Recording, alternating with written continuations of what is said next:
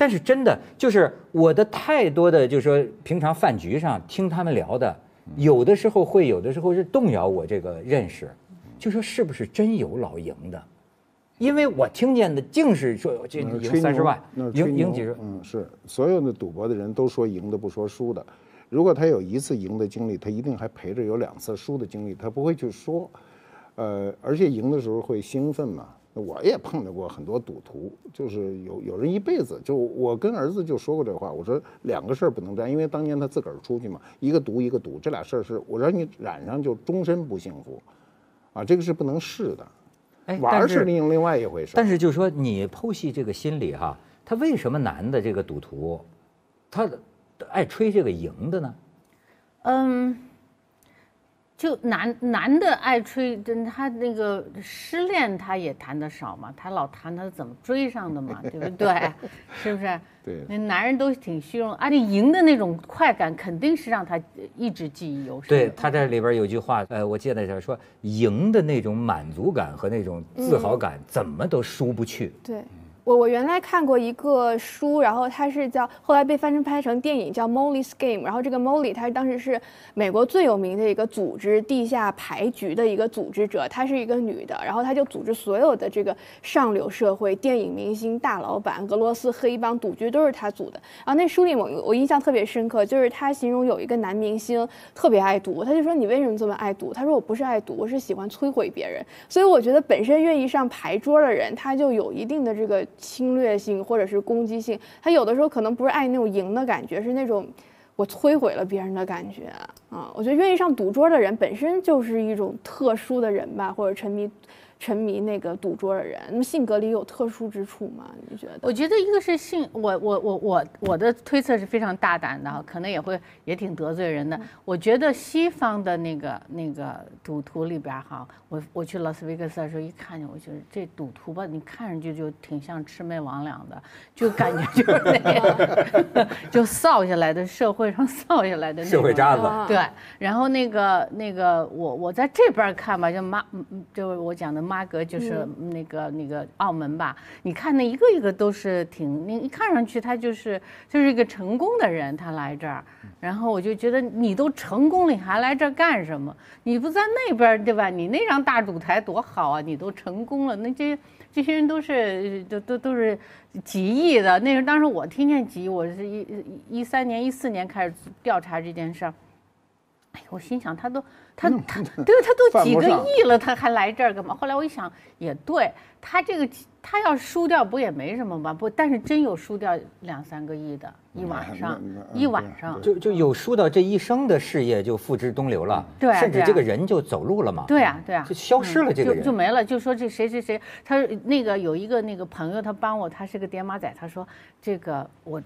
要跑路之前，他有一些特征啊，什么特征？嗯，一些特征就是说啊，我这呃，我这个呃呃楼盘怎么怎么着，就挺特别忙，特别火。然后过一阵子，常常就掐电话，就就，要么就是不接，要么就接一半就赶快就就说有我有事儿了什么的。当然了，还有一些就特别明显的就是，呃，不不不开机，嗯，找不着人了。对。但是呢，我觉得这个因为并不是中国人赌性特别强哈，其实你看那个韩国人的那个他们设计的这种 pachinko machine 那种那种 game 对吧？这他也是像日本人，还有印度尼西亚对吧？还有马来西亚对吧？就是我们这个我在想，可能就是因为我们的资源特别的紧缺，就是在一个人人挤人的地方，它有一种危机感和焦灼感，就对于怎么样。呃，就是就是就是说，什么时候饥荒会发生？因为我们过去的饥荒发生的频率特别高，这其实都沉淀在我们的集体潜意识里。就是亚洲男人的那种焦灼感，就是说我一旦不是这种啊呃一笔横财来，我就没机会了。所以他对这个刹那间就发财的这种这种梦想，这个梦想是已经是我觉得是从很多年很多代延续到我们现在。虽然这些人都都已经发财了，实际上在中国的发财经历，很多人都是暴富的，对吧？是，就是在一个短暂的时间里，如果你说一个有像很多人，他是一辈子他可以发财。有像中国人这几十年或十年当中，他他呃刹那之间玩金融的，就是上市一下子，对吧？就很多时候他给人一，甚至就是说他在赌桌上这样一个，就是最最嗯嗯符号化的他们本身的这种梦梦想。所以我就能理解，我就不理解，你知道吧？我亲亲眼见过，就是你很难理解一个人辛辛苦苦创业一辈子啊啊，挣了二十个亿，比方说，就是扔给澳门了。嗯，那么我真的觉得，就是说他是傻子。我再给你举个例子，就是前些年判了一个贪官，好像是一个湖南的。你说这个哥们打什么主意啊？拿着公家的钱一个亿，他想着我去了那儿，一把一个亿回来，照样还到公家账上，我就一，哎，人怎么会这样想问题呢？呃，我我跟这这个就是愚蠢，这个很简单哈。你刚才说，这个格林说这个欧洲人、美国人赌性都一样，其实不一样。我跟你讲啊，很简单，中国历朝历代政府都禁赌。如果中国开放赌场，它绝对不是日本，绝对不是韩国，啊，他倾家荡产的人有的是，越货杀人的有的是啊。所以为什么国家禁赌这么大力量，一定是有道理的。所以你再看啊，我们除赌博以外，你去看期货，中国市场有很多人为此自杀。就前些日子有好多人什么弄那个比特币，呃，杠杆放大一一百倍去弄，那就是赌博，那有什么？那就是赌博。赌博完了以后，他拿命抵这事儿。过去赌博把老婆点上去的事儿有的是，孩子都卖了去赌博。所以你知道乾隆当年赌博就是下那双陆棋，那么乾隆时期下那双陆棋，全国赌，那皇上就说，最后皇上没法去辨识这个事儿哈，就是说呃谁赌谁不赌，就是谁下这棋我就杀谁，你就甭跟我赌，因为一赌社会就非常的混乱。呃，这个歌林老师，你有个分析可以讲讲，就是他觉得是不是东方人啊有点偏感性？对，这个感性跟赌性是不是有点关系？对，没有，我觉得是是我们这个长处是悟性哈，哎悟性。灵感对，啪一下子悟到一个东西，在长期的一个一个好像是没有沉思这件事，他啪悟到一个事儿，对吧？他特特别赞赏这样的一种。对他机一动不是靠每一步每一步非常坚实的推理推理出来的一个，对吧？一种结果，一种一种判断。他他就是说，我们实际上呃，就跟他们的那个最开始的那种。呃，就是信仰可能是不同的，所以还有呢，我觉得，我觉得我我刚才没说完啊，我说，我觉得这个就是就是哪个国家，他的贫穷的人越多，而且这个聚财敛富的机会越少，他越会去赌。因为我觉得我们这个民族实际上是人特别多，然后呢，饥荒在在历朝历代发生的特别频繁。然后一个男人他他这个这个作为一个 pro provider，他就他就做一个赚面包的人，对吧？他就是一个。非得就是在你看两场战争之间只有这么点儿缝儿啊，就就就他们的，因为他的潜意识里知道下一场灾难会来得非常快，他要在这个非常短暂的时间里发财，这就是我觉得我们的。民族潜意识，我这样合理化他们，就是说这不不是我们比人家更就理性发发展的更不健全一些，应该说就是说为什么形成这种文化，一定是有民族的这个心理的这种基础，对吧？我就觉得最惊心动魄的就是那个。我在这个这个呃呃读这个扶桑的史料的时候，就是华人当年华工卖到那边去，他们做十年才能够有一次挣够了钱付得起这个这个这个船票回家去生一次孩子，或者去结一个婚，然后去盖一个碉楼，对吧？就是就是就他们就就存十年的钱才够干这么一回家一趟的，那就在。他那个大船下面全部是赌场，就是底舱全是赌场，他们就把钱全部输光输光，然后到了那边连短就剩下一个短裤在身上，衣服裤子统统输光。那回家干嘛来了那么他就没法上岸，没脸上岸，对吧？然后岸上都是他们的他们的家人啊、母亲啊、妻子啊，他们就掉头就就就跟着船就回去了。所以这个让我觉得，哎呦，怎么这么傻？但是你知道，你跟这些赌徒去谈话的时候，他告诉你，他说。我那一手我都有感觉，我那一手我就就是我这是就就没跟着我这感觉走，我就怎么着了？他老觉得他是一种必然被他这个偶然给打败了，他应该必然他是会赢的。就很多人买股票卖股票也是这样说，我这个我觉得这个股票就怎么着，他讲的很有道理。实际上，我觉得我们所有买股票的人，他不像就是这种股票市场非常成熟的吧，股民心理非常成健康成熟的吧，他是知道蓝筹应该有多少，对吧？这个高技科技应该有多少？还有你多大岁数，对吧？你可以多少是？放在这个股股票里多少放在存款里，多少放在房产里，多少放在什么呃退休账户里？就是它这个盘子要根据你自己的岁数，赌的成分要越来越少，就是高风险高回报的那种，你要越来越少，对吧？但是我们从来没有这种教育，你知道吧？还有呢，就是比如说我的公公哈，就是他是个美国人，他是个教授，他是他那时候是七十岁，他说还他是问他那股票怎么样的日子。我还买什么股票？我现在连根青香蕉都不买了，我等不及它黄了。他说，对，就是说这个就是越到岁数大，你看现在我们很多大妈大爷，他们还在玩那个风险特别高的股，那个所以什么暴雷啊，什么 P to P 啊都会，那就是赌博呀，对吧？对，所以说咱们就没有这种瘾啊。嗯，它这个瘾啊，它肯定是不是跟心理有关？你进去过，你见过那些人啊？就是说你写的眼睛是绿的嘛，是吧？哎，我会觉得就是输赢之际啊，那可真是玩的就是心跳啊。他是不是这种东西忽悠一下子，你能体会到高血压了？那家伙，那就尤其是那些贵宾厅这些大赌的，你想想，你说到最后他是他是像毒瘾一样吗？他是一种，他在精神上你觉得他感受到的是什么呢？嗨呀！很是肯定是他在赢的那种，他在他在进入那种全部的那种肾上腺素都被调动起来那种嗨点。那输不是沉入深渊了吗？但是他在那书里肯定包，他认为的那理论上也包含着赢，对吧？他就是他这个这个任何一步都包含着赢，这赢是一种可能性，这种可能性是被他们放大了很大很多的，然后这个这个可能性就让他嗨。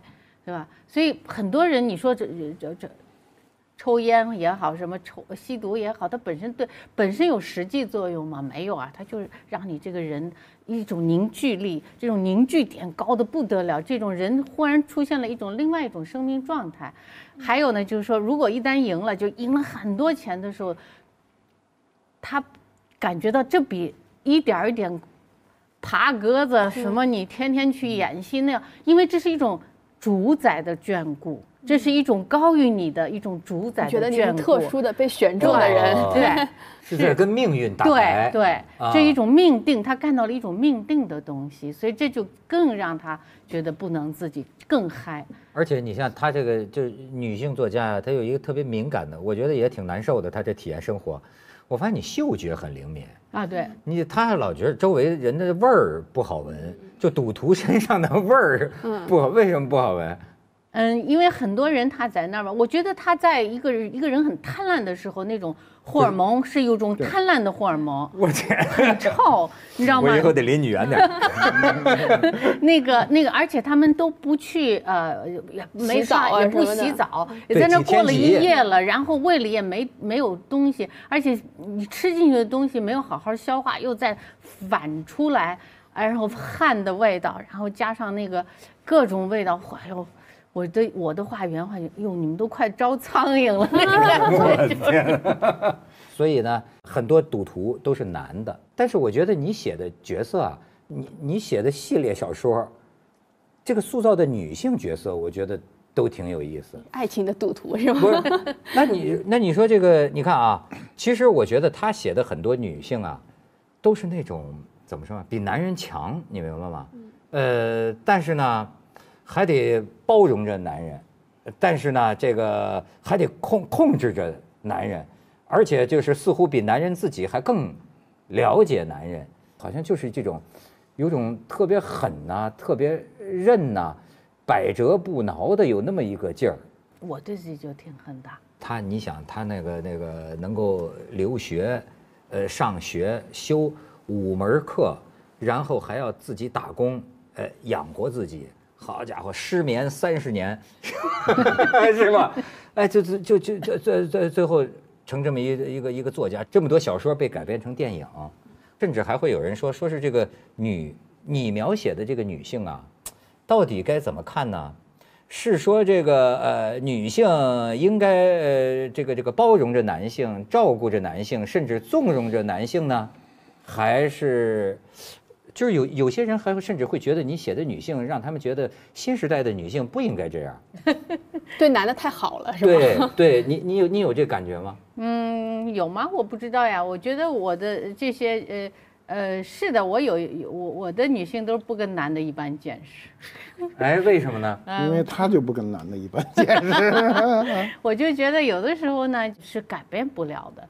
很多的只能让你自己显得很讨厌，看上去很讨厌，不是看上去很美丽哈，看上去很讨厌的人我是不做的，对吧？我老跟我的朋友说，你这你看你这股票你就别这么弄了，对吧？然后讲不听，我我觉得我都是多讲掉的，上海人叫都港特，嗯，那就不能讲的不，所以男女之间和女女之间。很很成人和孩子之间很多话你都是多讲掉的，不用讲的，因为很多事你讲了也是没有用的。所以我对我的孩子现在也就这个态度，关键的几几几件事讲一讲，是吧？其他事不讲。跟我的先生也是不讲，就是很多时候你就明白，呃，他要是能能意识到，他就意识到了。如果意识不到呢，讲了你就会显得自己很讨厌。我不愿意做一个讨厌的人嘛，那叫英文叫 nagging，一个 nagging 的一个女人，一个就是一个唠唠叨叨的，对 对，很讨厌，对吧？所以就我大概十年前采访过严歌苓老师，也算是对对话吧，然后我。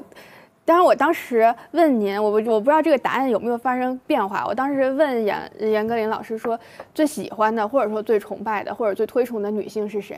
然后他给我一个特别诧异的答案，他说是希拉里。就您当时说是希拉里，然后我就特别诧异。我本来以为会是一个很。什么奥黛丽·赫本的什么之类的，这种很女的，就是很女性化的这种。但是他当时就是很欣赏希拉里的这种雌雄同体也好，或者他身上有很 tough 的一面。对我现在肯定变了。那那个时候正好希拉里到那个在到到我见了他一次，但是她虽然是一个就是女女性非常非常有有谋略的，非常有呃这个比。就是大面上对她的丈夫的那种出轨也是做的非常大样的哈，就是一种大女人吧。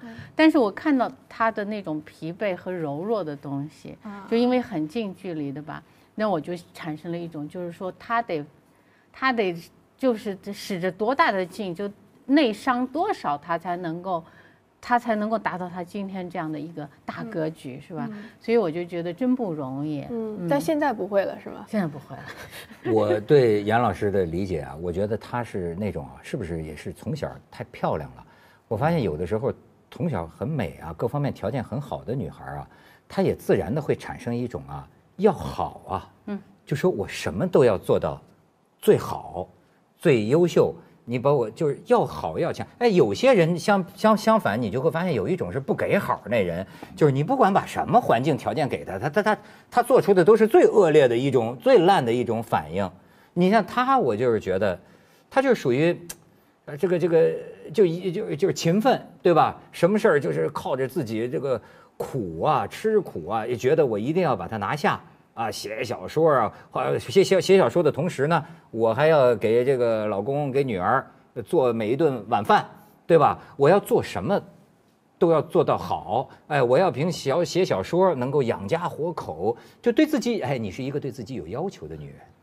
那我可恶的时候，你也有的。哦，说一说，说一说，说一说。这种可恶的时候，我希望越来越少吧。那也就是唠叨，这就是说，就是女人要学会一不不断的成长嘛。虽然是我这个岁数了，但是你还得成长啊，要不然的话，就其实呢，我觉得我呢是从小当兵，就是当兵我们是吃了很多苦的，啊，从早上六六点钟起床跑操，我是四点半起来就练私功。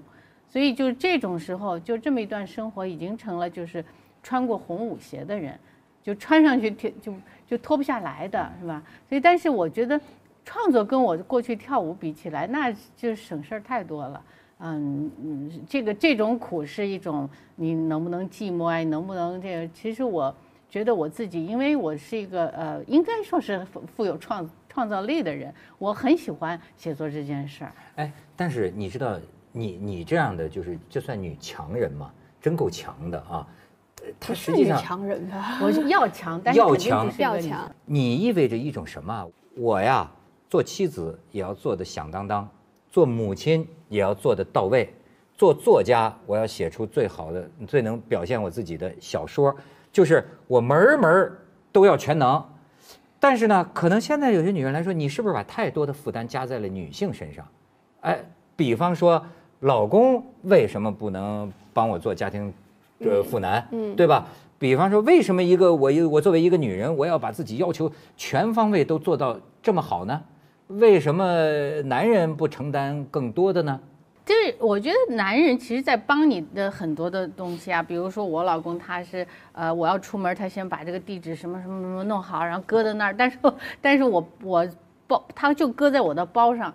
他也说啊，你那个地址就在那儿，但是我包一拿，那个地址就给我扔了，对吧？然后到马路上就就打电话着急说，你说你在哪儿？嗯，就是这这种说不去了，我不去了，就发呃使性子都会发生的。有有有多大的强，有就有多大的弱，一定是派好的。就是我有一句话叫喜欢自己还不喜欢自己。我今天做的这个人，这个严歌苓这个人做人做的招我自己喜欢吗？不找我自己喜欢，这一天的晚上我说很不讨，我就很很不高兴。你知道这一代人呢，我们这代人跟下面这一代人完全的不同。呃，我们所有的那潜意识或者意识中呢，都很清晰，就是你所有的事情的成功一定是你的努力，对不对？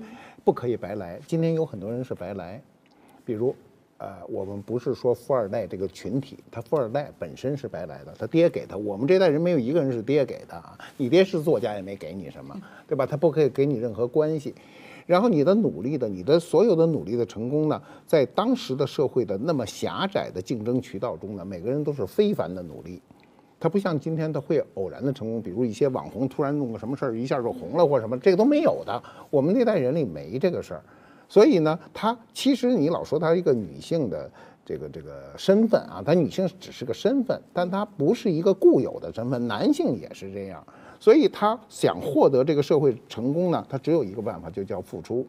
只不过女性比男人更困难一点呢，就照顾得多。你比如你刚才一说就是母亲、女人什么，男人就是男人，他就没有说你说一个男人，你在说他父亲吗？他就没这个角色。他尽管是个父亲，也没人要求他这个角色。但女人就要要求这个角色，所以在中国社会中，女人成功就相对我们那一代人里比男人要少很多，也是这个原因。受教育程度是普遍的，我们这代人已经开始普遍受教育，就是说有一万个男人受教育，就有一万个女人受教育。但是，一万个男人他出来能成功，相对世俗意义的成功，和一万个女人中比较起来，还是女人少嘛，嗯，对吧？所以我觉得这也是我觉得呃严歌苓老师挺可贵的一个一个原因，就是她你也不排斥其他的这种作为母亲妻子的社会角色，也不排斥谈到这种社会角色。但是我是觉得现在我不太喜欢的有一类就是说的女强人也好，或者女要强人也好，就是他们树立自己的强是通过贬损另外一半树立起来的，就是觉得我就是就是他们的强是把这个对象。就变为一种没有用的人，或者是小奶狗也好，或者什么呀，就把它作作为一种伴侣动物，或者是一种宠物动物。它通过贬损另外一半的能力和社会属性来建立说，你看我是多么强，呃，多么能干，多么的全能。就我觉得这种其实是没有必要的，也没有必要去塑造塑造这种对立。你看哈，就是杨老师呢，我觉得，他是自己要求对自己要做到自己满意，它是一个自为标准的一个要求。但是我觉得，哎，你又说你说跳舞的，其实我觉得很多跳舞的女孩啊，她很难避免被别人评判。就这个，我就我觉得影响一辈子的，就是我我我我我我在想，跟他们的生活有没有关系？就比如说从小，那谁跳这个呃什么中间的位置，谁跳前排，说完全是老师就说了算啊。就是你从小是一个被被挑选的，不管你多努力，最终是他说他跳到这儿就在这儿啊。那么你现在你推而广之啊，很多这个女女性啊，她所谓的这个要好，你比如说你知道就是有一个呃十三岁的一个外国女孩在 YouTube 上，她因为她的父母就是可能经常说你长得不好看，他不知道自己长得好看不好看，然后呢，他就把自己弄在 YouTube 上，他让全球的这个人就说你们说我长得好看不好看，结果好像有一万多个说的特难听的这个话，他就备受 备受打击。哎，你你觉得这个女人是不是特别受这个周围的评判的这种影响？嗯，对我很早就发现这一点。你要做这个审美的客体，还是做审美的主体，对吧？就是你你这个呃呃很多的漂亮女孩子或者就是跳舞的小姑娘哈，她都是在审美的客体的这个这个位置上，就非常被动，你知道吗？后来呢，我就觉得呃我自己。呃，要有自己的一个，就是自对自己的一种行为啊，什么要有一个，就是比如说老公有这么喜欢别人的事儿，就我不能表现出嫉妒，对吧？就是我觉得嫉妒这件事儿很丑恶，很俗气。我看见我妈妈表现嫉妒的时候，她就不可爱了，是吧？嗯，然后我就觉得我这辈子就得干这么一件事儿，就不不能表现嫉妒，结果也是也是很害我自己的。对呀，因为那个老公就我前的老公就认为你这你你看你你你不没事儿吗？怎么就突然又有事儿了呢？对吧？所以就是这这种有的时候实际上是一种嗯前辈人对吧？他们的伤害或者他们的这个他们的这种不足吧，使我矫枉过正，是实际上是这样的。然后呢？那你现在会会表现出你觉得这个原来觉得排斥的一面吗？呃。就是说应该真实，对吧？就是自己的这种你的你的这个水平在哪里？你这做人总是有个水平嘛，对吧？你做的做做人做的很烂，水平很低，对吧？做女人做的很烂，你也就是水平很低的一个人。那就是说老想把自己拔高到那个水平，你根本达不到，对吧？你能做到就是呃，你的老公呃有有喜欢别的女人，你完全就是一个就是一个呃。淡然的那个那种态度，做不到就别装，是吧？就是我装多了呢，就就就不行了，对吧？那就最后的伤害就是这种不真实的，对吧？就是这种不诚实，实际上是还是不不够诚实嘛？对自己的这个，你不能克制，为什么不一定克制就是好呢？嗯。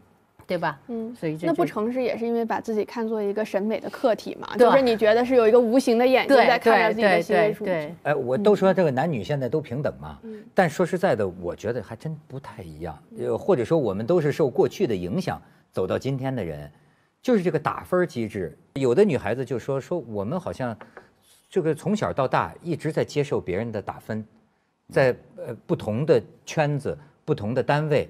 好像就是这件事儿，对于女孩子来讲，似乎变得特别大的这重要，甚至有人都统计出来说，我一辈子要被打六十万次分儿。就是你，比如说你体自恋了，你体面，你体面不体面，或者说你你你做的这个合不合呃仪态，对吧？呃，包括你的这个工作能力，包括你的模样，很多时候女孩之间，她也是有一个这个打分的机制在互相看，互相看对方。哎，你好像就摆脱了，那我还没摆脱呢，我表现的摆脱而已。不就是说，呃，假如。